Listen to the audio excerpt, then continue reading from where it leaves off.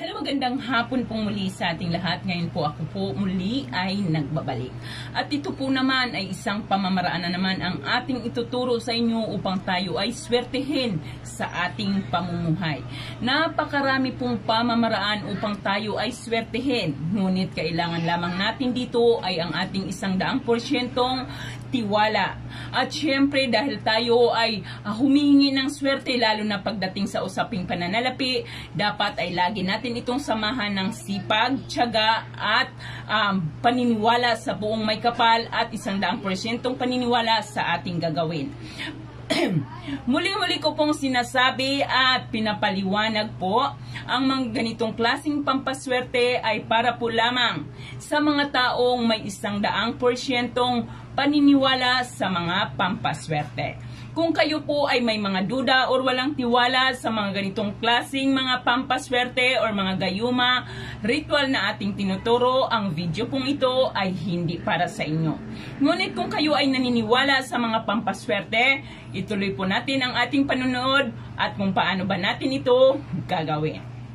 Okay, gagawin po natin ito ng araw ng Martes or kaya naman ay Biyernes. So marami pong iba sa atin ay walang time ng Martes or Biyernes. Maaari din naman po natin itong gagawin ng kahit anong araw. Halimbawa, hindi mo ito magawa ng Martes or kaya naman ay Biyernes, maaari mo itong gawin ng kahit anong araw. Basta muli nating sinasabi, tiyakin na ikaw ay may suot na kulay berde or kaya naman ay kulay pula sa inyong katawan. Ngunit ang oras po lamang ng dapat ng paggawa natin nito ay alas 6.30 hanggang alas 8 po lamang ng umaga. Okay, ngayon, ang atin pong kailangan lamang dito ay isang pirasong bawang at bulak. Pwede tayong gumamit ng cotton balls or kahit po yung bulak na hindi naman cotton balls ay maaari po tayong gumamit. Kailangan din natin ng isang kurot ng asin at kailangan din natin ng bullpen at sinulid na kulay pula or kaya naman ay kulay berde sunulid na kulay pula or kaya naman ay kulay berde. Ayan po. So, ngayon, habang ginagawa natin ito, kailangan natin ay nakaharap tayo sa silangan. Habang tayo ay naghahanda, bago natin gawin ang ating ginagawang pampaswerte, tayo po ay umusal muna ng panalangin sa ating puong may kapal. Magdasal muna tayo bago natin umpisahan ang ating paggagawa ng pampaswerte. Pagkatapos nating magdasal, ay kuhanin mo ang bawang. Ayan. Dito sa bawang ay isulat mo ang iyong pangkumpletong pangalan. So halimbawa, ako si Marivic. Maari, maari pong gumamit ng kahit anong kulay ng ballpen. Marivic.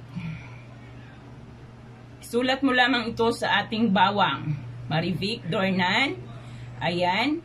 Tapos, isulat mo ang iyong kapanganakan. Halimbawa, ipinanganak ka ng October 17, 1978. Ilagay mo lang dito ang 10, 17, 78. Ayan. Pagkatapos, dito naman ay ilagay mo ang halaga ng iyong kakailanganin. Kailangan. Halimbawa, total tayo naman ay humiling. Ay atin ang lubos-lubusin.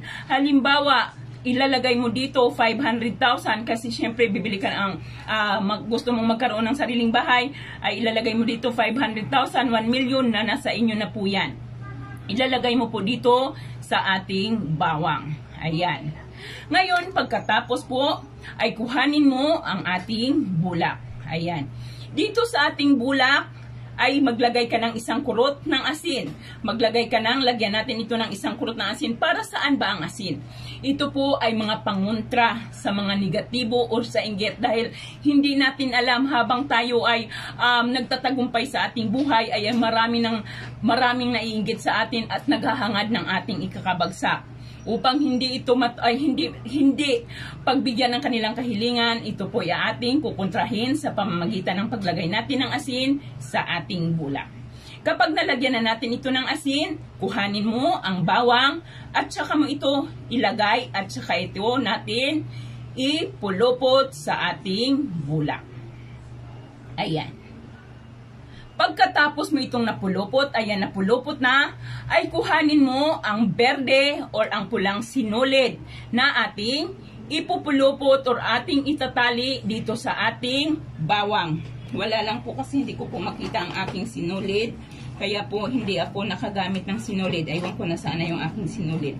So mula dito ay ating ipupulupot ang ating ba ang ating sinulid na kulay pula, pula or ang ating sinulid na kulay green hanggang sa ito ay tuluyang mabalot or tiyakin mo na ang ating ah, bawang ay hindi malalaglag habang pinupulupot mo ang ating sinulid, ay bigkasin mo ang paulit-ulit kang humiling. Humiling mo ng paulit-ulit ang iyong kahilingan ng walang ginagamit na salitang sana. Dapat habang binupulit mo ito, tayo ay nakaharap sa silangan upang habang tayo ay paulit-ulit na humihiling. Pagkatapos po ay hayaan mo itong masinaga ng araw sa loob ng 30 minuto. Pagkalipas po ng 30, 30 minuto ay kuhanin mo ito at ilagay mo ito sa inyong bag. Kailan mo ito kukunin? Kukunin mo lamang ito kung ang iyong kahilingan ay naibibigay na or nakuha mo na ang iyong kahilingan. Muli po, ang paggawa po ng mga ganitong klaseng pampaswerte ay hindi po ito magic na kaagad. Pagkatapos mong hilimiling ay nariyan na kaagad.